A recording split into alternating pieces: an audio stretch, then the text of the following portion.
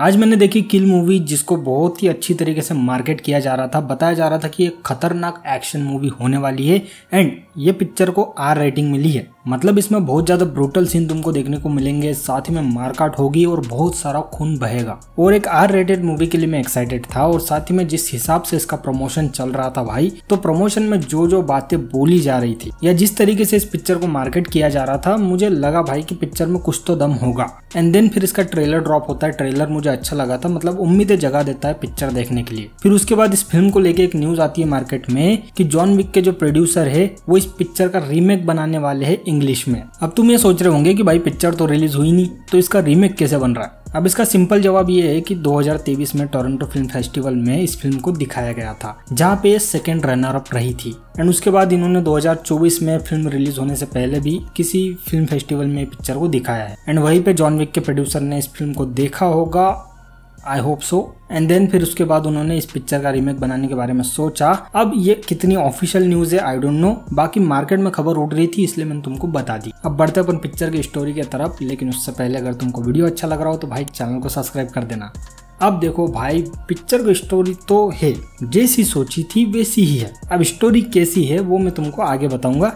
पहले जान लो कि पिक्चर की स्टार्टिंग कहाँ से होती है। हमें दिखाया जाता है एनएसजी कमांडर राठौर जो कि अभी अभी किसी मिशन से वापस लौटा है एंड देन उसे पता चलता है कि उसकी गर्लफ्रेंड उसे बहुत बार कॉल कर चुकी है, लेकिन वो कॉल पिक नहीं कर पाया। एंड जब वो मैसेजेस पढ़ता है तो उसे पता चलता है कि उसकी गर्लफ्रेंड की कल सगाई होने वाली है। तो भाई, अब हीरो तो गर्लफ्रेंड की सगाई रोकने के लिए जाएगा ही। तो ये भाई साहब पहुँच जाते हैं लड़की को उठाने के लिए मतलब सीधे भगा के ले जाने वाले थे। पर किसी कारणवश उन्हें प्लान को ड्रॉप करना पड़ता है। अब लड़की की सगाई हो चुकी है एंड लड़की वापस अपने घर जा रही है ट्रेन से। वो भी अपने फैमिली के साथ। एंड उसी ट्रेन में ये दोनों कमांडर चढ़ जाते हैं, बस इनकी बोगिया अलग अलग होती है। फिर उसके बाद कमांडर राठौर जो है, वो अपनी गर्लफ्रेंड से मिलता है एंड बहुत सारी ऐसी रोमांटिक सी बातें होती है एंड फिर वो उसे ट्रेन के टॉयलेट में प्रपोज करता है शादी के लिए। जिसने भी ये सीन लिखा है, भाई वाह मतलब इससे बेहतरीन प्रपोज तो कहीं हो ही नहीं सकता। एंड हमारे रेलवे के टॉयलेट इतने ज़्यादा साफ़ होते हैं कि तुम वहाँ पे जाके इतनी सारी गुप्त गुप्तगु कर सको। एंड वो छोड़ो, कमोट पे बैठ के कौन भाई प्रपोज करता है?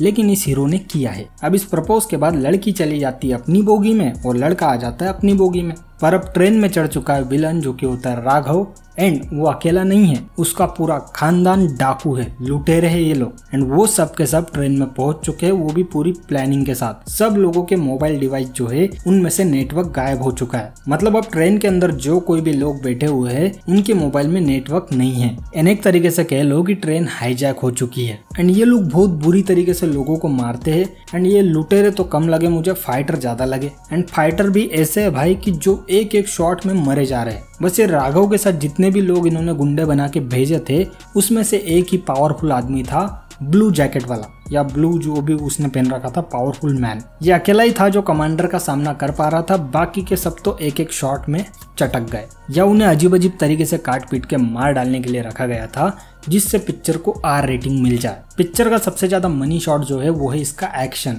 वो भी ब्रूटल वाला एक्शन जो कि तुमको इसके सेकेंड हाफ़ में बहुत अच्छे से देखने को मिल जाता है। मतलब बहुत खतरनाक लेवल की मार काट होने वाली है। फ़र्स्ट हाफ़ में इसका लेवल थोड़ा कम होता है सेकेंड हाफ़ में और ज़्यादा बढ़ जाता है। जो कि मैं कह सकता हूँ इसका जो ब्रूटल एक्शन था, वो अच्छा था, लेकिन बहुत ज़्यादा अच्छा नहीं था। एक आर रेटेड मूवी का एक बेसिक समझ सकते हो तुम लोग, पर जिस हिसाब से इन लोगों ने किया, वो अच्छा था। पूरी पिक्चर में तुमको ओनली एक्शन के अलावा कुछ नहीं मिलेगा एंड इसकी एंडिंग और इसकी जो कहानी है, सारी की सारी प्रिडिक्टेबल है। एंड मुझे तो ऐसा लग रहा है कि ये सेम टू सेम कॉन्सेप्ट मैंने कहीं देखा हुआ है। वो भी एक टीवी सीरियल में, जो कि था क्राइम पेट्रोल या साउदर्न इंडिया ऐसे ही किसी टीवी शो में मैंने ये सेम एपिसोड देखा है। बस उसी स्टोरी को उठा के इन्होंने फ़िल्म में डाल दिया है। थोड़ा हाई लेवल का एक्शन डाल के। बस, और कुछ भी नहीं। बाकी ओवरऑल इस फ़िल्म के बारे में इतना कहना चाहूँगा कि वन टाइम वॉच है, अगर तुम देखना चाहते हो, अगर तुम्हें ऐसी आर रेटेड मूवी पसंद है, ऐसी मार धाड़ पसंद है, जिसमें बहुत सारा खून बहे तो ये पिक्चर को तुम देखने के लिए कंसिडर कर सकते हो। बाकी मेरे लिए पिक्चर वन टाइम वॉच वाली लिस्ट में आती है। अगर तुमने किल मूवी देख ली है तो तुम्हें पिक्चर कैसी लगी कमेंट में ज़रूर बताना। एंड अगर तुमको वीडियो अच्छा लगा हो तो लाइक कर देना चैनल को सब्सक्राइब मिलते हैं अपन अगले वीडियो में।